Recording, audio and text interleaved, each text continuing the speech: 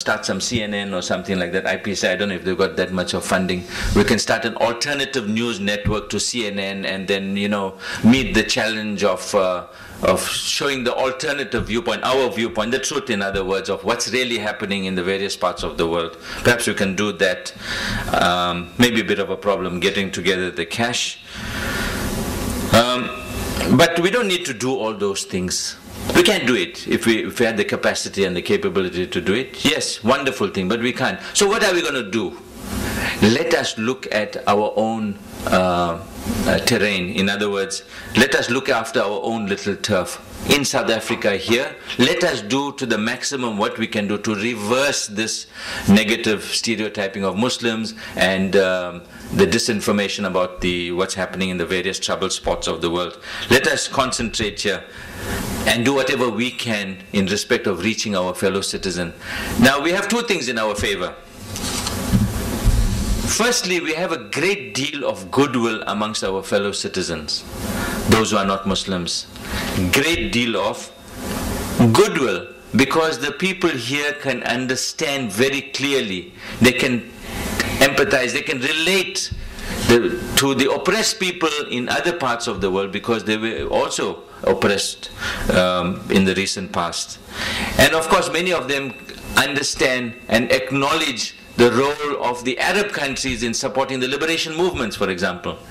And thirdly, many of them also acknowledge the role played by many Muslims in the liberation struggle. So, alhamdulillah, we have goodwill flowing out of that. And of course, uh, the situation is also favorable in terms of what's happening in the world, meaning that people can see very clearly the duplicity, the hypocrisy, the deceit of the world leaders, especially uh, Bush and Blair, who have been shown up to be liars quite clearly. And of course, Ariel Sharon has been shown up to be the thug that he really is. So people can see this very clearly now. So that is in our favor. We don't have to very, work very hard to show these realities.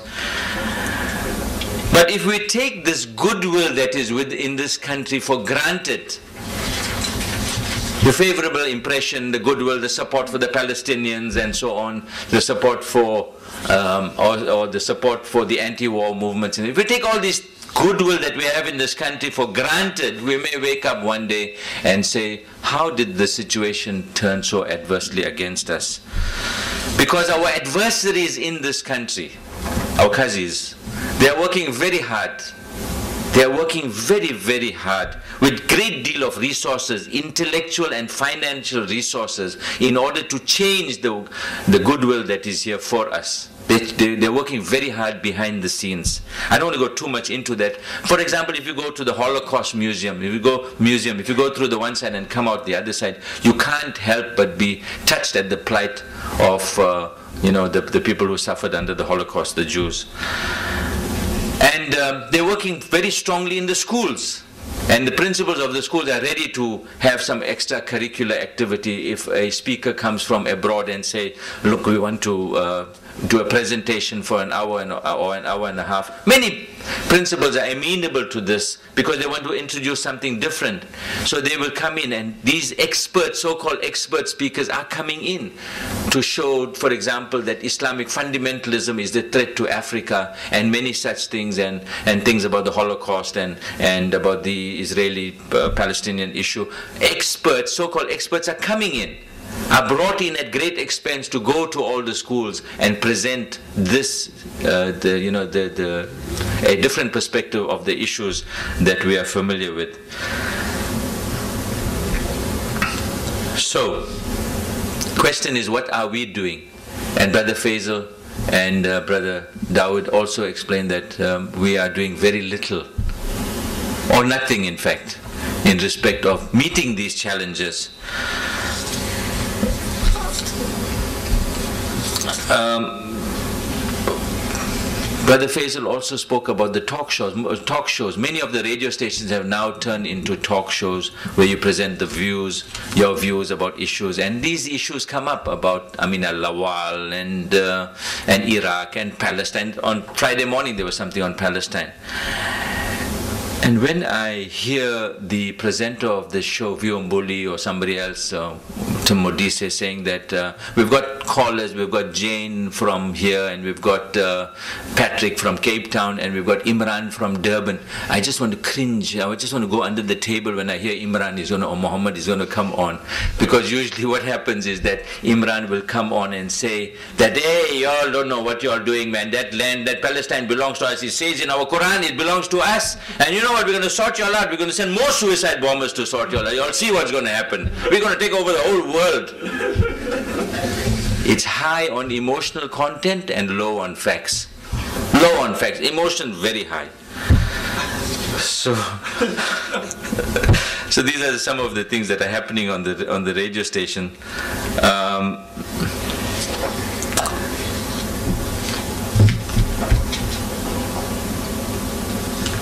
um, trying to find my place in this thing. I said not what it used to be. Um, I just want to finish off by saying that I'm very pleased. I'm very pleased, alhamdulillah, that you have decided, those who have graduated, that you have decided to take up this journalism course and take it up so seriously. Uh, it may be a crash course. It may be a crash course, very brief course, maybe just dealing with many issues on a very cursory, very superficial level.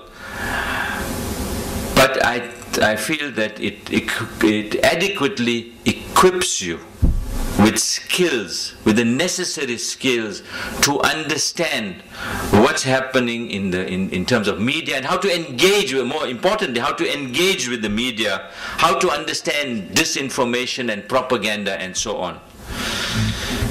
Of course, this is only a foundation. Those who have taken the media course, this is your foundation, a very good foundation on which you need to build. You need to build because you need to understand issues like Palestine. You can't say that you may understand what is disinformation and so on and then go onto the radio stations or as a guest or as a caller into these programs. You need to build, you need to understand the issues. What is exactly the dynamics in these crisis zones? Your graduation today, your graduation today means that you are soldiers in a very crucial, in this very crucial battle for the hearts and minds of people. You are the new soldiers. In this crucial battle, I feel it's very crucial in winning the hearts and minds of people. May Allah reward you for making this decision of taking this cause in journalism and moving on that path for taking this cause in a very important jihad. It is a very important jihad. And may Allah subhanahu wa ta'ala strengthen you as you do battle and embolden you with each victory that you manage to achieve, inshallah. For no particular reason now, I'm going to read to you something which I found very amusing. You may find something, you may find something profound in that. You know, I started my speech by saying that I was thinking of something profound. Well, I'm going to read you something now, and maybe you'll find a profound lesson in it. Maybe you'll find nothing in it, but I hope you find some profound lesson in it. Like, for example, um, you know, the, the, words can be more powerful than weapons. Maybe you'll find this in it, in this article I'm going to read to you now, or maybe you'll find something else profound. Like, uh, there's always a way to defeat an enemy, no matter how strong he is. So um, I'll finish off by reading something from yesterday morning. I hope nobody read this. Uh, and I'm also very easily amused, so I hope you also. It says here that um, a wealthy old woman goes on a photo safari in Africa. She takes a pet dachshund. Is that the name of the dog? How you pronounce it? Dachshund, right? Dachshund for company he knows everything, that's why I could ask. He's a journalist. so she goes on the safari and she takes her pet dachshund for company. One day the dachshund starts, dachshund is of course a little dog for those who don't know.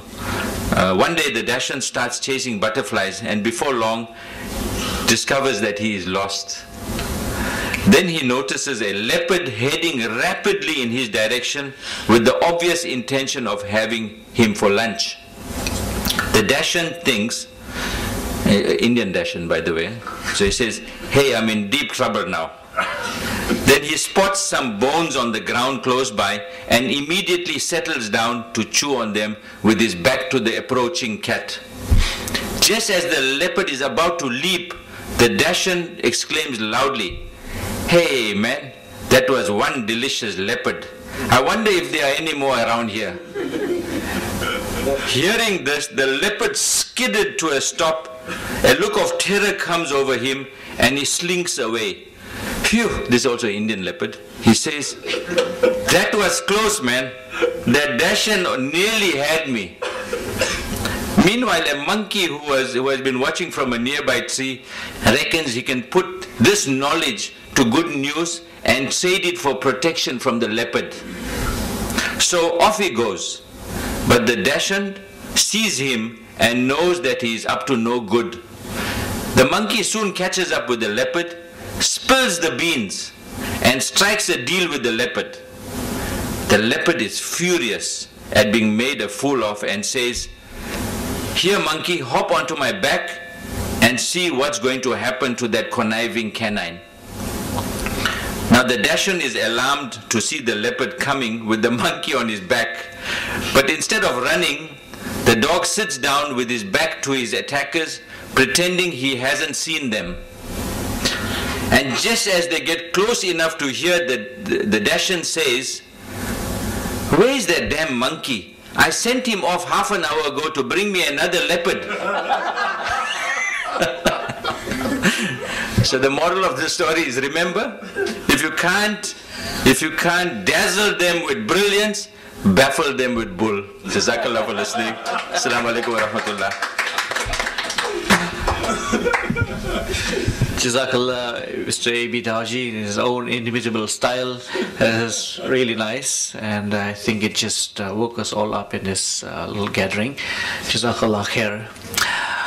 Before we uh, start the passing on our certificates, I, as I promised, will have Brother Tahir Sitoto to come forward and uh, give us uh, a few thoughts that he has and about his uh, perhaps Shay's uh, trip to America for his Fulbright scholarship, inshallah. I've heard Uncle Dawood Ngwane, I've heard Dr. Faisal, I've heard Brother Maybe Dawjee. A.B. Dawjee. Uh, they've said profound things, and perhaps the freshest profound thing from A.B. himself was that uh, Muslim responses are quite often high on emotion, low on facts. I thought that was very, very uh, profound. But I would, what I would like to re-emphasize is that in our attempt to engage with the media, we also need to move away from the culture that is reactionary. We need to be proactive rather than being reactive.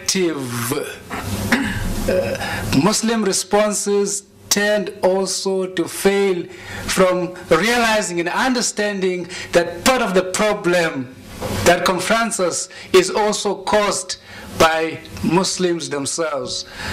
Some time ago, a sister who was graduating in this similar program said, There is no smoke without a fire. And the suggestion was that the media stereotyping of Muslims,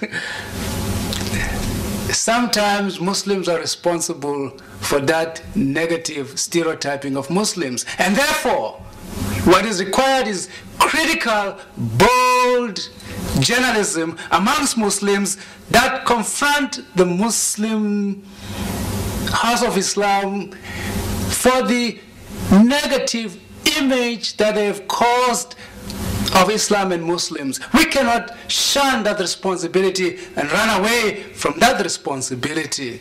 By so doing, I think we will be adopting what I will phrase as a proactive, hmm, a much more proactive stance in our engagement with the media. I'll limit myself to those comments. I've been asked to comment about my going away. Uh, I'm not sure if there's anything to celebrate in my going away because, as a close friend and colleague said, you are going into the belly of the beast. But also, the news about the going away came about in a way that uh, I was not quite happy. I was confiding to an old teacher of mine who introduced me into Islam and taught me in the early days when we were still infants into Islam. And out of his own enthusiasm, he spread the news all over the place uh, without my knowledge. But so I'm not, I'm not, I'm not sure, I'm not sure whether um, I should beat the drum, so to speak, uh, because someone reminded me that you're actually going into the belly of the beast. But more than that, it is also about choosing a path of glorified poverty. Assalamu alaikum wa rahmatullahi wa barakatuh. Alhamdulillah, we had a, a very good we have great students. The students were of a very high quality, and this is the fourth journalism course that we had, and we are continually attracting um, quality students to to this course and uh, we had uh, some 14 students alhamdulillah. And uh, that's on this uh, in the, in, the, fourth course that we are going to, we have started today we have about 10 or 12 but i do uh, I, I, do believe that these are students who are very enthusiastic and passionate about studying uh, basic journalism so without uh, further ado, I want to uh, call upon Sister Aisha Mal to hand out the certificates. We would like to call upon